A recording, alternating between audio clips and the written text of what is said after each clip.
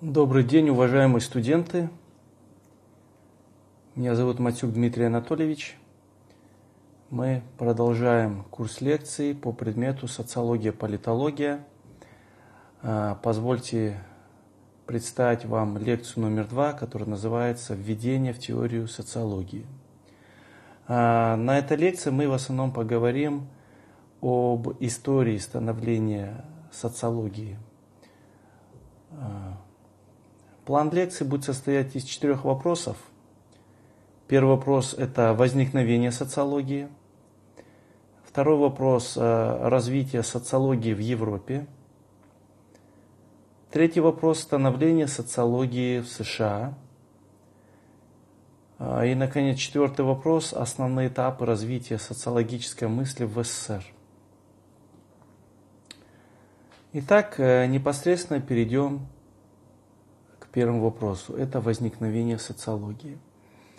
Ну, э, первые, можно так сказать, э, социологические теории, э, первые воззрения на общество, его изучение, конечно, мы находим в античности. Это в основном Древняя Греция – это, конечно же, были древнегреческие философы Платон и Аристотель, которые записали свои знаменитые произведения. Платон написал произведение «Государство», а, Аристотель написал произведение «Политика». А, ну, в частности, у Платона мы находим такие взгляды, он разделял общество на три класса. Это высший, средний и низший. Э, к высшему классу он в основном относил это мудрецов, которые должны управлять государством. К среднему он относил воинов, которые должны охранять государство от смут. И к низшему классу он относил ремесленников и крестьян. И он говорил, э, то общество будет хорошо развиваться, в котором каждый вот этот класс, каждый слой будет выполнять свои функции. А, Аристотель, Аристотель, а, он выступал защитником среднего класса.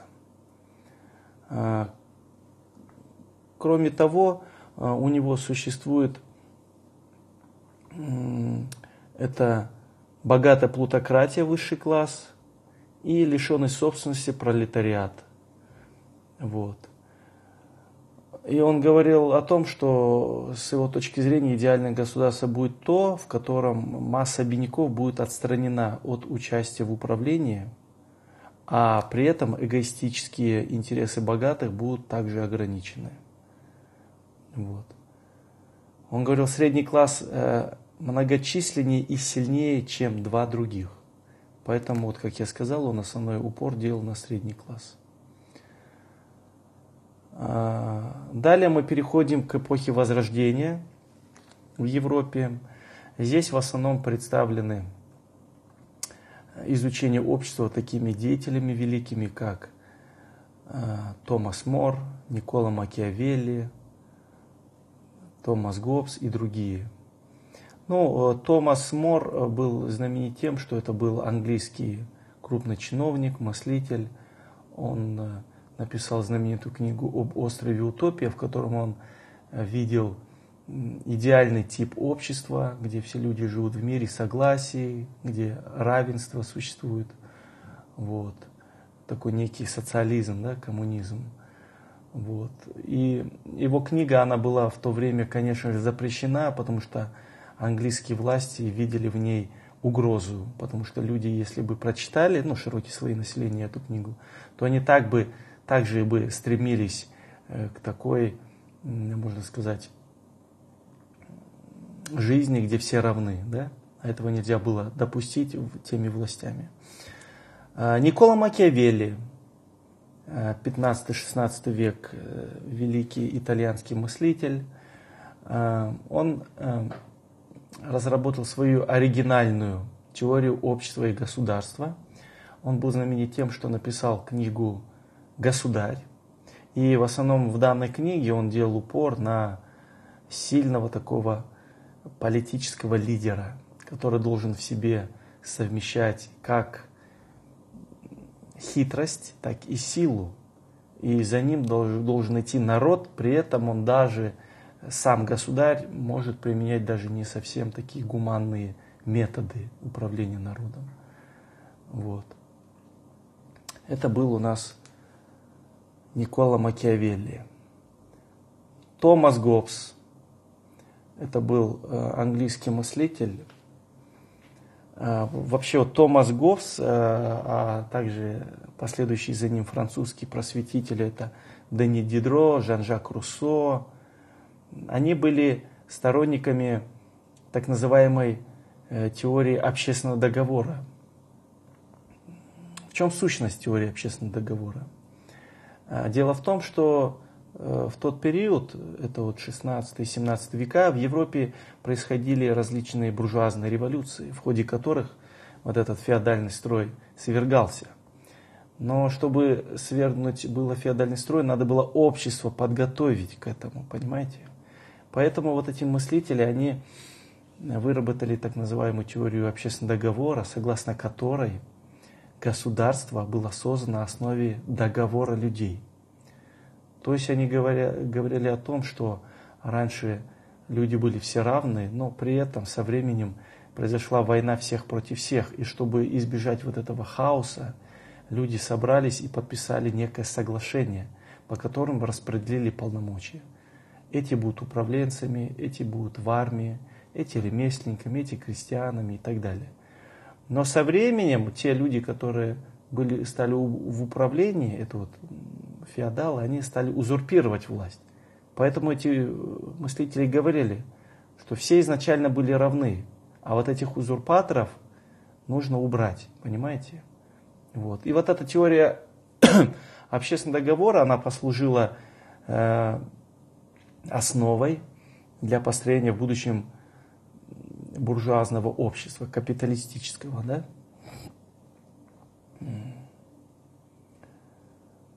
Далее мы переходим непосредственно уже э, к становлению и развитию самой социологии как науки. Это было связано прежде всего с именем э, великого французского философа Огюста Конта, который жил в первой половине XIX века – вот именно Огюст Конт ввел в оборот термин социология. социология. А, и он, э, прежде всего, изначально был философ, и именно из философии зародилась социология. Он говорил, что э, социология, она должна стать такой же точной наукой, как математика, физика, использовать точные методы – в исследовании тех процессов, которые происходят в обществе. А, поэтому во всеобщей классификации наук Огюст Конт поставил социологию на самую вершину. И он говорил, социология должна открывать универсальные законы развития и функционирования общества. А, Но ну, свои открытия с точки зрения Конта, э, социология должна совершать при помощи четырех методов. Он выделял такие методы, как наблюдение, эксперимент, сравнение и исторический метод. Вот. Он говорил, именно с помощью этих четырех методов э, функционирует сама социология как наука, проводит определенные исследования, дает определенные результаты. Ну и, конечно же, Конт, он говорил о том, что социологи, социологии не следует заниматься субъективными рассуждениями и абстрактными бездоказательными, бездоказательным философствованием, как он говорил. Э, вот. Она, социология должна также изучать э, общество, поскольку общество является своего рода как живым организмом, да, частью живой природы. Вот. Поэтому вот э, вклад Конта он очень важен. И э, Конт э, свое учение он делил на две части. Это социальная статика и социальная динамика. Социальная статика, он говорил, она описывает законы существования, а социальная динамика, она описывает законы этапы изменения общества. Вот. Переходим ко второму вопросу. Развитие социологии в Западной Европе. Ну, как вы поняли, Западная Европа в XIX веке была центром социологической мысли. И помимо Конта и Макса Вебера, важную роль здесь также сыграли Карл Маркс, английский философ и социолог Герберт Спенсер, французский социолог Эмиль Дюргейм и так далее. Э, давайте начнем с Карла Маркса. Да? Имя достаточно знаменитое. Э, он в основном был знаменит тем, что призывал ученых не только изучать мир, но и изменять его. В этой связи он говорил, что только революция, как социальное явление, способна осуществить переворот в жизни общества. И, конечно, он был знаменит, Карл Маркс, изучением именно капиталистического общества, э, и он написал знаменитый труд «Капитал». Да? Ну, конечно, в качестве инструмента анализа общественных явлений Маркс использовал классовую структуру общества. То есть он говорил, все индивиды принадлежат к тем или иным Э, социальным классом. А, вот. Ну и, соответственно, у них разное экономическое положение, да, по признаку владения средствами производства и размера вознаграждения.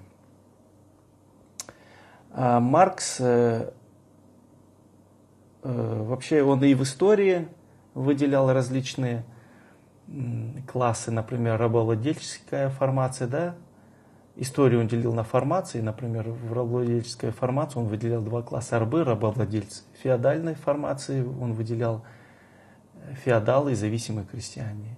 И в капиталистической или буржуазной формации он выделял капиталисты и наемные рабочие. А, Вообще, в целом, Маркс, он впервые представил общество таким образом, как продукт исторического развития и как динамично развивающуюся структуру. Вот. Герберт Спенсер. А, он был знаменит тем, что а, огромное влияние на него оказала теория эволюции Чарльза Дарвина.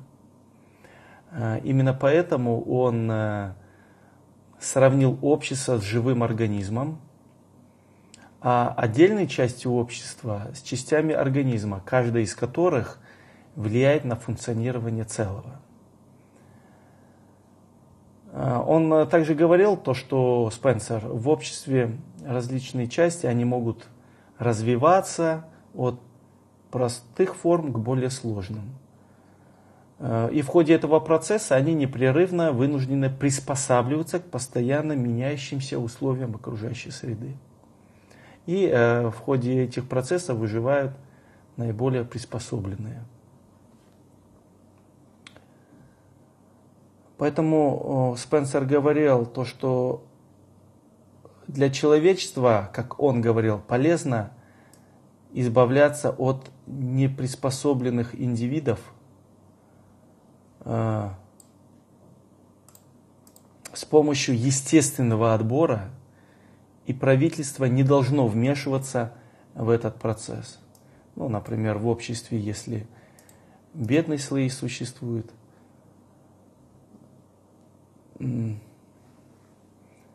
вот. И вот такая э, философия получила название социальный дарвинизм.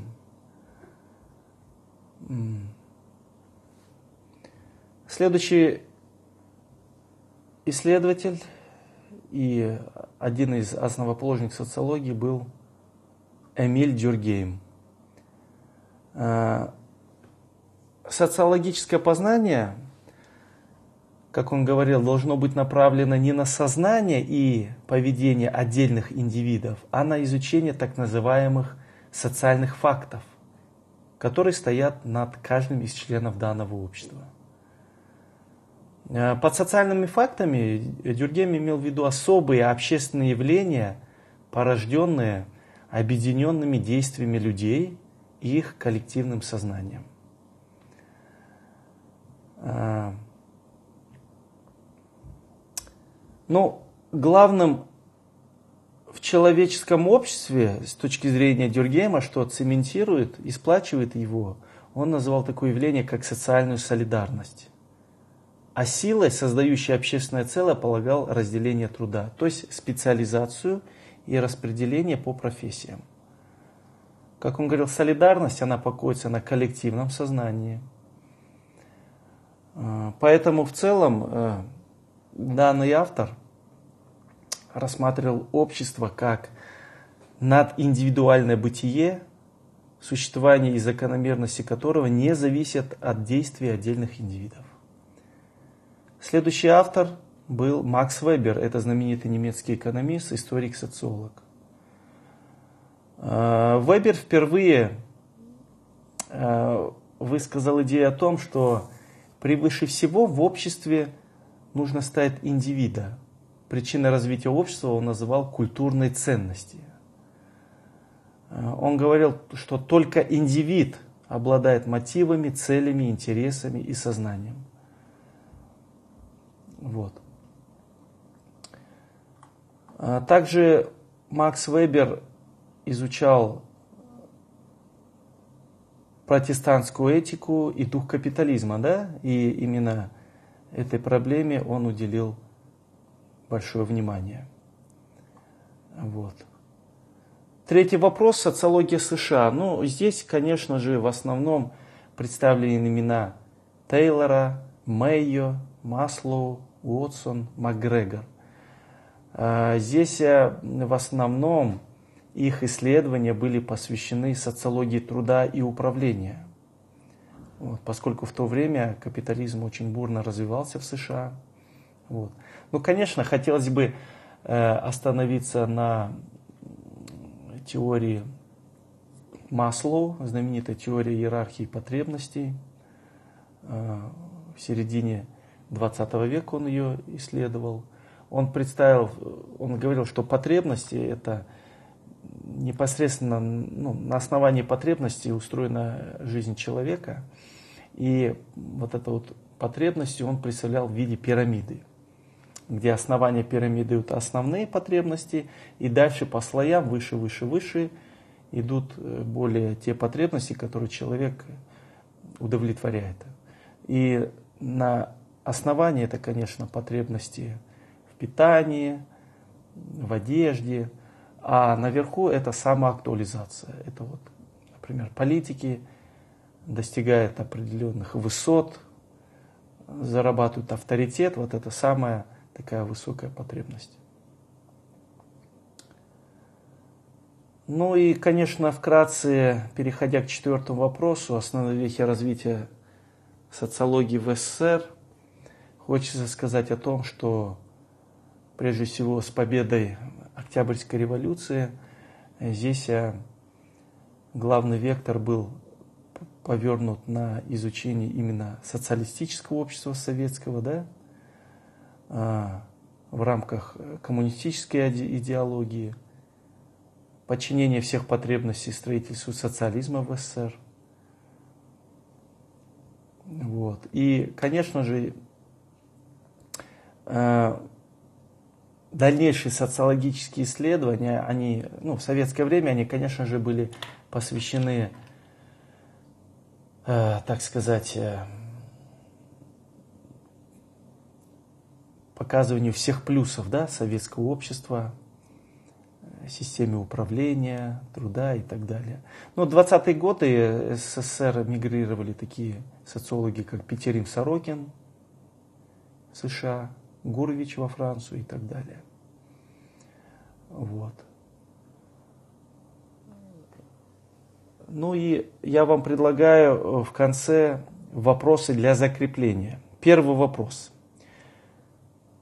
При каких условиях произошло возникновение социологии? Второй вопрос. Какие вы знаете основные направления в рамках становления европейской социологии? Третий вопрос. Какими в основном вопросами занимались социологи США? И четвертый вопрос. Какой вклад внесла социология СССР в развитие мировой социологии в целом? Лекция закончена. Спасибо за внимание.